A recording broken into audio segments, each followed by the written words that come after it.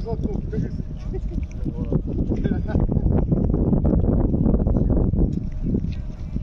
No, idę w ogóle leżał. Dokładnie,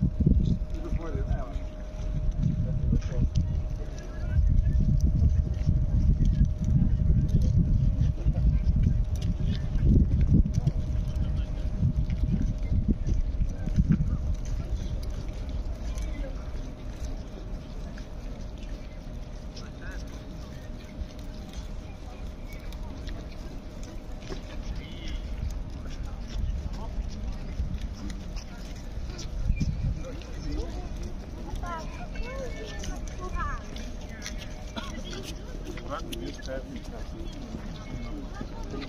you.